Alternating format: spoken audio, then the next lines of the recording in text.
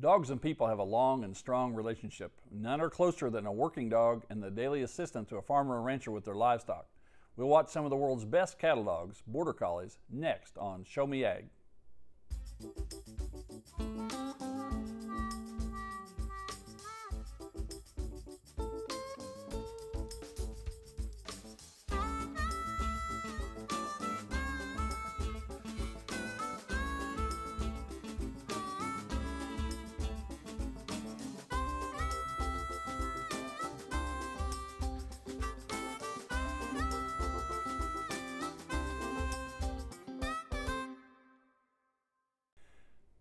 Welcome to Show Me Ag. I'm your host, Kyle Vickers. Thanks for joining us. Working dogs have been developed over centuries to help folks carry out their daily lives. Border Collies are specially bred to herd livestock and are arguably one of the smartest and most trainable breeds. Some of the best Border Collies in the world were recently right here in central Missouri for a competition to exhibit the skills of both dog and trainer. The national finals contest was held at Leeton, Missouri, just south of Warrensburg. We have Thad Fleming, who hosted the national contest with us tonight. Thad, thank you for coming in. I know that about a month or so ago you had this huge crowd at, uh, and, and, people from all over the country come into your place. Yeah, we, we, did, we did. We really enjoyed it. It was a, it was a good experience. It was a great experience. well, let, us talk a little bit first about the dogs. And I'll have to admit, I, am prejudiced. I, I love dogs in general, and I've had a couple of Border Collies right now. I have an Australian Shepherd. I think they're wonderful dogs. What's the history behind the Border Collies and those shepherding uh, working dogs? Well, the Border Collies have come to the top, and that's why everybody has chosen the Border Collie. It's it's hard to match what the Border Collie can do. Um, their their their trainability, their intelligence, and stuff like that. And it's it's what they're bred to do. It's just like any working dog. It's they're bred to do it, and, and the Border Collie has risen to the top of of the dogs. I, I, think I read somewhere that there's a border collie in England that knows 400 words, and I've seen it. It's it's just pretty amazing. You can go pick out a, a, a red toy or a blue bone or whatever they tell him. Yeah, that's I've, I've seen that that too. But you know, I mean, it it all goes back. That dog just knows something different, and he just picks it out. You know, and uh, he can. But it's and mostly, I mean, we've seen seen a lot of border collies. Maybe they're used to working sheep, but they've been adapted. Uh, Missouri, of course, is big cow calf country. They've been ad, more or less adapted to work cattle. They've been adapted. Uh, the, the, border collie can be trained to work anything if they have the power and the presence. Um, the cattle take a little more power and the presence to work over the sheep. I mean, they use them on geese. They use them on ducks. They, I mean, they'll work in about anything. It, it, depends on how they're brought up. If they're brought up, if, if they're brought up working sheep or cattle, uh, you know, the, it really is the way they are. And it's, it's, bred into them. You know, a calf, a cat and dog bite low, bite head, and it's all bred. It all comes back. Uh, they they really don't bite the animals. At least in the exhibit, they they really that's kind of a flaw, isn't it? No, we don't want one to chew them up. That's that's that's just stressing at the livestock and stuff, you know. But when they need to hit something, that they have the capability of hitting it. That's what's different in the sheepdog competitions and stuff like that. The cattle, but you got to have enough power in the dog to walk up and, and be willing to take the hit or you know to put the hit on. Is is uh, some of the weaker dogs won't won't do. And uh, some of these cattle can be pretty contrary. Oh yeah, they can be they can be very contrary. The more there are, the harder it is. So it, I know they're very trainable. They're very smart. I, have often said if I was as smart as my dog is, I would all get along a lot better. Uh, they're, are they easy to train? Hard to train? Well, I've got two kids, and I can tell you they're both different, and they're, and they're the same way. All the dogs are different, and that's why some some people like to train their dog from uh, all the way through. I personally don't because I don't it, you got when you start one, you got to finish it. You, you got to keep with it on a daily routine. But there's always some little quirks about it. Some don't like going right, some don't like going left. It's always something different. It's always a challenge. That's what's fun about doing the dogs. But that's that's a learning curve, and that's why we always we're always working them, always training on them. But once you start one, it's never over. Well, let's talk a little bit about how this the finals came about to be at, at your place. I'm on the handlers board, and they were looking for a place to put it for the next three years is what the president he wanted. It's it's hard to come up with something every year. I don't I'd only been on the board one day when did they see you coming as a uh, newcomer? They said we're well. I, I traveled. I was in the sheepdog world. I, I've, I've, for the last pretty close to ten years. My son and I have traveled around. We've went to a lot of sheepdog trials.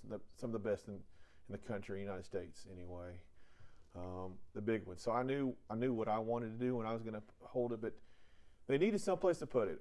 I really wasn't in the cattle dog side. I was, like I said, I was in the sheepdog side. I talked to some of the, I know a lot of the handlers, and I talked to some of them and said, yeah, you know, it'd work. My place would be fine. But the biggest obstacle I had was was getting the cattle, getting 200 head of 250 head of cattle looking the same, weighing the same, all the same.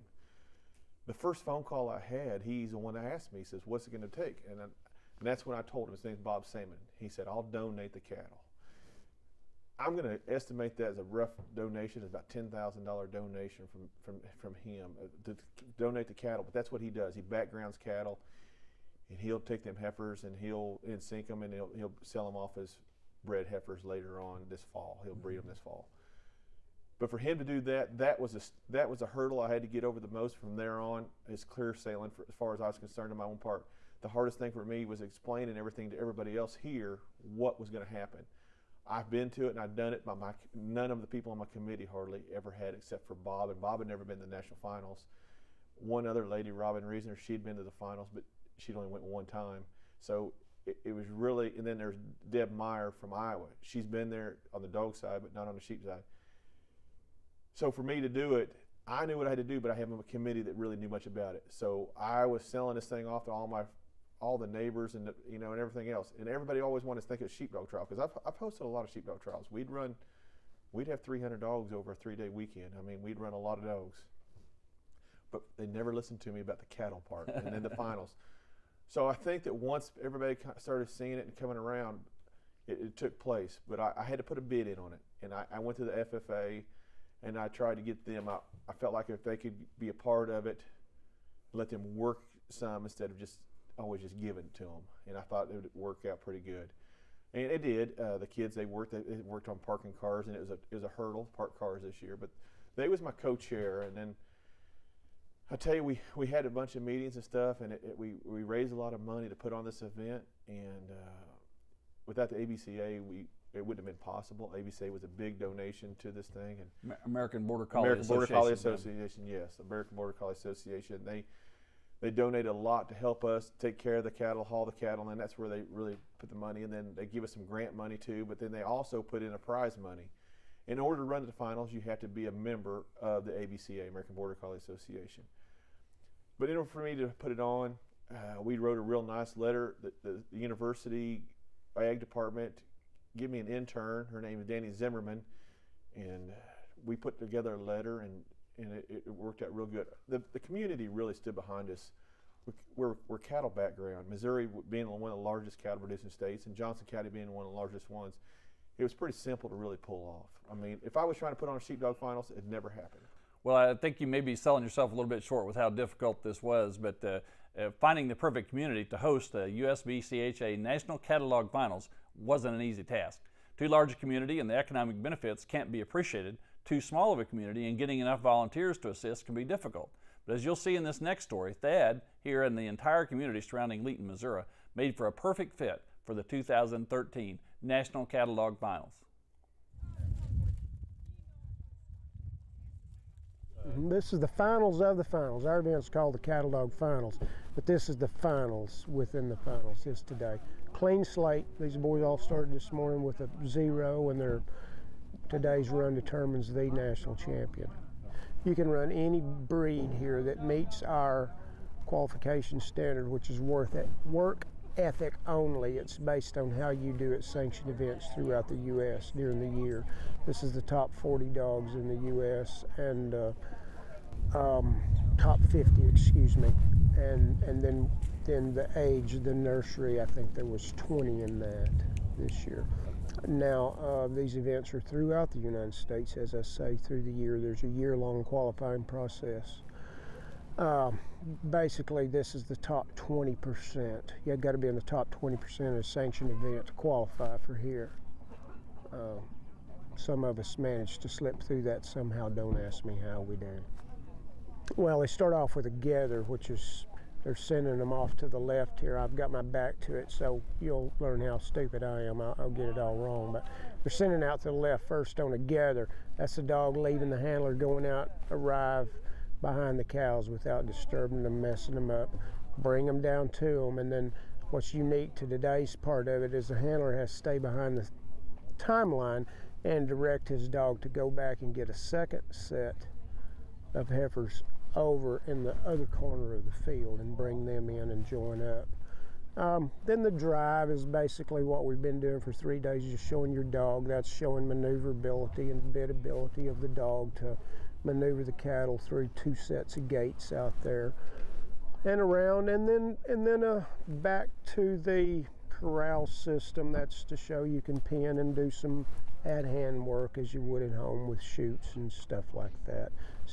Sort of trying to emulate, in a way, what you can and do with a stock dog in, in your cattle operation.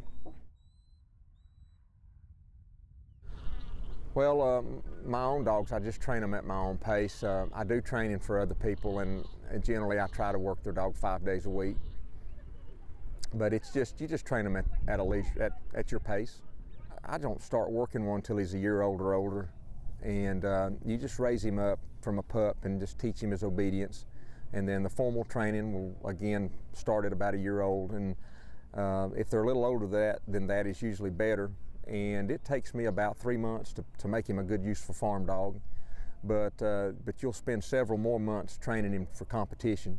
I've competed with some with just three months training, but for what we're doing right here, it takes more than that. It, it takes several more months, and then through their whole life, you'll always train on them and keep them tuned up and get them ready for these competitions. Well, the Border Collies have a tremendous amount of energy because it's high drive. I mean, they're driven to do something. They're driven to work sheep through generations and generations of breeding. And if you're not going to burn that energy off somehow, if you're not going to play ball with them, if you're not going to throw a frisbee for them, if you're not going to take them to obedience or agility classes, and first and foremost, if you're not going to work livestock with them, they're going to find some way to burn that off. And the first thing they're going to do is chew a hole in your couch you know what I mean, or the seat out of your car. So they're gonna they're gonna do something. They're not just laying around. They're not they are not lackadaisical. You know, you need to do your homework before you go buy one. Um, if you want one for working and herding, uh, like what we're doing, then you got to buy one out of out of uh, you got to buy one from a breeder that and out of parents that are doing what we're doing. Uh, just because it's a border collie doesn't mean that it's capable of going out here and doing this. Um, in my opinion, most border collies do have the instinct, but uh, that doesn't mean it's capable of being trained to do this. Due to, due to, due to the, what you have to do to train them. I mean, uh, it's it's a it's a regiment uh, that they go through, um, and um, and uh, some of them just don't.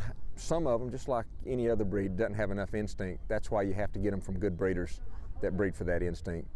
As far as making good pets, um, you know, I think they're just like any other breed of dogs. Uh, they can make good pets, but because of their intelligence, they need to be um, handled and, and treated uh, a little differently. Um, they need to be disciplined, and, and uh, it's kind of like uh, raising children, I think. Uh, support from the community has been unequal. The people in the community have pulled together and made things work where it almost looked like it there might be problems because just because of the weather. I mean, there were a lot of things that had to be done very quickly because of the windows of time available to to get certain things done. Some of this fence was put up in uh, on this field um, in two days. Just and the only reason it was able to happen that way was because people jumped in gave their support came in and worked.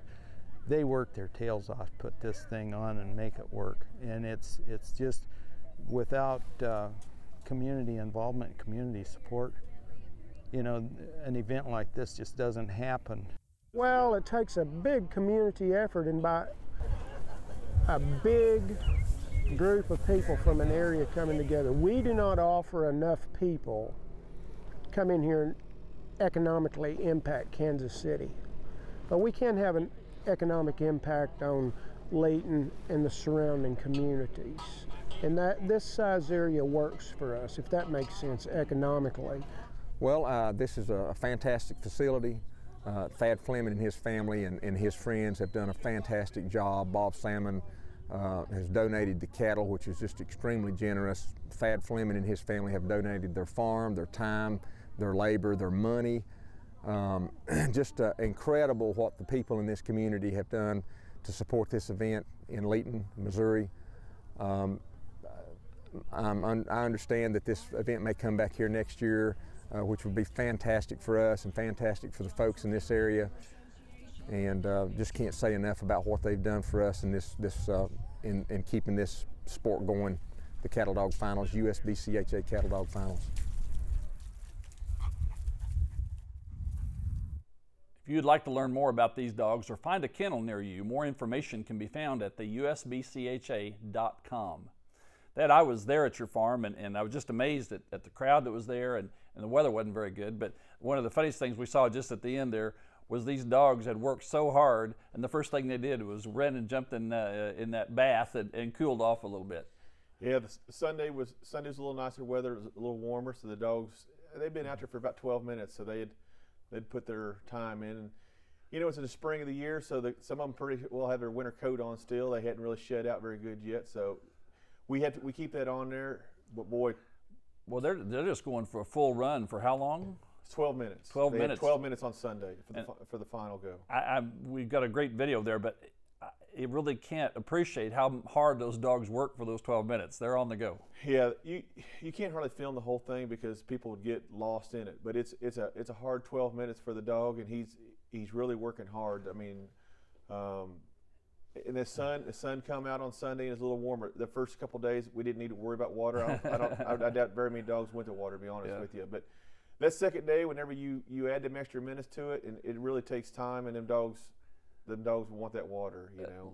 Uh, three, two groups of three cows each got to be brought up several hundred yards, put through some paces, and then gathered in a corral. Pretty challenging. Yeah, it's it's about 200 yards, 220, something like that. I, I didn't really mark it off. Uh, I've run enough trials out there to know, but that's about what it is. It's about 200 yards, and the drive was probably 250, 300 yard drive, and then the pin. Um, next year we're going to change it up a little bit. The last obstacle was it was a nice pin donated by uh, Kingsville Livestock. It, it was a real nice thing for them to you put out there, but it's too nice a thing to work with. I mean, it's a nice piece of equipment, but I think we're going to try and change it up next year and you know make it different. But it's a long 12 minutes for you know for both of them to be out there. Yeah, they're working pretty hard that whole time. Uh, the the challenge here is that the owner stays in one location, right? And- The owner has to stay behind what, they, what they call the timeline, and he can't. He can move back and forth to kind of help see and help help help his dog a little bit. But other than that, he has to stay behind that line. If I'm not mistaken, some of them use a voice command, some of them use hand gestures, Mo- some of them use a whistle. M- most of them are going to use whistles. Your highest percentage, is, I'd say it's 90% is going to be probably whistles. Very few hand gestures. The only thing hand gestures at the front, when you're just really you're trying to get the, this livestock's eye, not the dog's eye. Uh, most of it's whistles. M- Most of it's going to be whistles. These were the top dogs in the country. Yeah, they were they were the top. Tell us how you qualified. You have to travel all over the country, spending a lot of time and money on the road to go to these trials. Not just the money to get there, but the entry fees because it's cattle. Not very many people will let you work their cattle. I mean, they're they're you know, they're too high dollar to work, and, and so your entry fees are high. I mean, these guys have spent probably average, I'd say 700, 1,000 on a weekend to, to get qualified. You had to you had to qualify the top 20 percent to get points. The points Throughout get the year Throughout prior, the year, yeah. start it starts. Um, I think it's April one, and maybe April, maybe one- May one. Um, like I said, I'm on the sheepdog side too much. But you once you once it's, once that's over, you start gathering points up for the next year finals, and then they'll take the top 20 percent. And the nursery, we take the top uh, 30 dogs. This year we only had 20, 20 qualified. dogs. Nursery being the younger dogs. Twen- yeah, nursery's a three and under. They can't be a three years old as of January one. Um, they have to be under three years of as of January one in a nursery. It's just not to put the pressure on them. They're not ready yet, you know, for But I, pressure. I think I caught that one of the top nursery dogs was also in the overall finals. Uh, actually, he was the one dog that won the nursery. Won the nursery. Won the nursery. Actually placed. I would was wrong out out of uh, Texas. He was right up there in the top four, I believe. That's what I was thinking in, in my watch, and he did one of the best jobs. And, and uh, uh, still I with a pretty young dog. to come, well, I bet he's glad he did. Yeah. And uh, one of the points that in this is a border collie a good house pet? No. They're too an old one, you know, but they, they got it's, it, they got to stay busy. They, they're built they're built for a job. They got a lot of energy. They they, got a lot of energy, and they're ready to work. You know, and I keep mine in crates or in a small kennel. I never let mine run loose. They're, they're like a they're like a teenage kid. You give them too much string, and they're going to run too wild, and, and they're they're going to do something. They're going to be chasing cars. They're going to be gathering up something. So you got to keep them kenneled up if you want if you want the best dog you can have. And then I don't believe in chains, but then you can go work your dog, come back and, and do it. You know, and Uh, I've got a Australian Shepherd, very closely related, high energy, loves to work cattle, and we use them on a regular basis. If I don't wear her down sometime during the day, she'll drive you crazy sooner or I, later. I exercise my dogs four times a day. Yeah.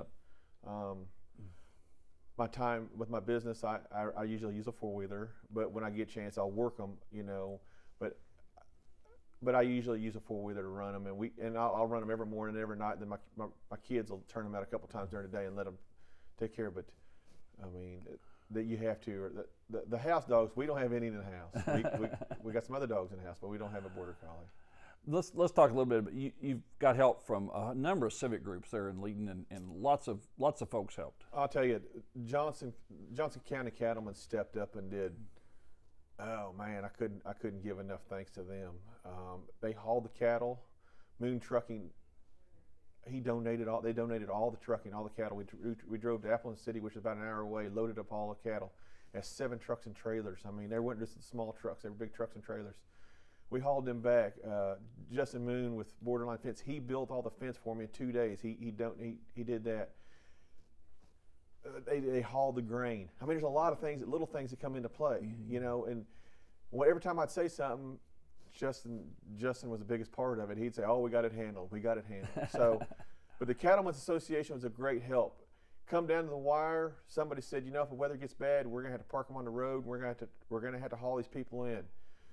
Next thing you know, Lions Club said, "Hey, we'll haul them in," and, and it was it was neat to see the tr- which you was part of uh, the trailers and tractors hauling people in. I mean, there'd be they're just loaded down with people Yeah. on the tractors, and it Sunday was good to see. Now on Thursday and Friday, they didn't get out of their cars. There's a couple hundred people sitting around and watching in from the cars, which I don't blame them. I would if I It would was nasty weather. if I wasn't a contestant, I would have been sitting in a car too. But I tell you that the day started. We started every morning, probably about four, four thirty, gathering up the cattle, getting everything ready. My kids and I, and, and when things should start rolling. Um, we had Johnson County uh, Fairgrounds helped us. We had Main Street in Warrensburg. They took care of food. We let a few of the, the communities, just a small ones, because we didn't want just too many. And it really, the food, nobody got out. So until Sunday was was not the best, you know. But uh, we still had they, approximately 700 people on Saturday and about a thousand on Sunday. So it was. We had a great turnout. We the school helped us a bunch. Um, FFA chapter was out in force. FFA chapter was out. Uh, I mean, it's just good to coming from a cattle background, a You farming people community. on horseback that were helping herd the cattle after the dogs were right, those were all volunteers. Ex- exhausting the cattle was all volunteers. Um, most of them, you know, was 4-H or FFA kids, or they had been in 4-H and FFA. And I talked to some of them, and Bethany Granger, she she led them up, and she's going to take it over next year. But we hired we hired the three set out guys on the very top end. They set out there, and they pushed the cattle out every day. We did hire those guys, and they did a super job. Um, but I tell you, them kids on them horses exhausted. Then that first day, my boy rode all day, and it was. My daughter did too, but he he helped me do chores at night. And I mean, we was cold. We was we was froze, being wet all day and wet. Yeah. I mean, it was, you know, 40s and 50s. But you had so much fun. You said, "Let's do this Oh, again." I, I, I was a glutton for it. I'm, I'm ready for the next two years. It's it's good to see the excitement about. We we had meetings throughout the year last year, and we'd average five or six people. We had one two weeks after this was open. We had 30 people show up for the meeting, and and er- everybody's excited about it. Um, the city of Warrensburg manager was there. She was she, they're excited about having it come back, and they understand now what I was trying to tell them. And they asked me about what what it was, what we need to do. And I said, I just tell them it's in my head. I can't. I couldn't tell them. I couldn't explain it. I, I, I'd bring big poster boards and I'd draw it and I'd draw it, but I'm not. I'm a plumber, so I, I couldn't explain it very well. But it it really went over well. I think for the, my brother, he he said it probably best. If we would have had good weather, I don't think we could have took the people because I think we would have had we would have had a lot of people. I was probably getting a couple hundred phone calls a day there th- th- that week, um, asking if we were going to have it and all this. That's where I made a mistake. I used my own phone number on all that stuff. I won't do that again. But it, I tell you, it was it just went over. It went over so well. And, uh, So they made a commitment. The association's made a commitment to come back the next two years. yeah, we have it for the next two years, and I, I, I think we could probably get it for longer, but we actually have it for 14 and 15. We're off on we're off and racing on all that, and uh, we're really looking forward to the next two years on that too. I mean, it's we're we've got some changes. Yeah, the weather was bad, but you know it could have been worse. Them tornadoes wouldn't have Oh, helped me none. Yeah, I mean, yeah. but six inches of snow that first that first morning or second morning there, man. I, I about cried at 4:30. I'll tell you. I went out there and seen a 140 foot or 100 by 40 foot tent on the ground. I, I was pretty pretty upset about it, but we had to go on. There's nothing we could change. It was happening. It was happening that weekend, no matter what. It was the only Well, thing have stopped us was lightning. Uh, uh, the, the community pitched in, or it couldn't have happened. Oh no, the, the community had to be there. I had to have the I had to have the support. The, the, the cattlemen's, the local farmers, and it had to be something they wanted to see. You know, the FFA, the Lions Club, they all pitched in. The church groups, they all had to pitch in because, I mean, we're 523 people strong in Leeton, Missouri, and it had it took the community, it took Johnson County as a whole. It not just it took Warrensburg, Chilhowee, Calhoun. It took all of them to kind of help us pull through it. And I think we'll get more support next year after after this, after the other TVs and, and, and other things that went on. You know, I think that we've really, it's really words got out there and people have done it and we advertised it pretty good, I felt like, which I'd never done none of them before. And what we did seemed to have worked. And uh, Well, my, my compliments to you and all the folks that put it on. We, I took my family there that afternoon on Sunday, had a great time, and if we can, uh, we'll be back next year because look forward really, uh, it's a lot of fun to watch. And, and I, I don't think we can just uh, tell people by the video how difficult it is for the dogs and what they're actually doing. And, and it's, it's quite an exciting event to watch. And uh, if you have any love for dogs at all, why it's, uh, it's really fun. And uh, so I, I appreciate all the time that you put in and all the folks from Johnson County. But I'm afraid that's all the time we have for tonight. But I'd like to say thanks again to Thad uh, Fleming for being with us tonight. And thanks to everyone at the 2013 National Cattle Dog Finals for letting us visit with them as well. And before we go, we'd like to also thank you, our viewers, for tuning in to Show Me Ag. We hope you'll tune in next time for another look at a topic touching rural Missouri. For everyone here at KMOS and myself, good night.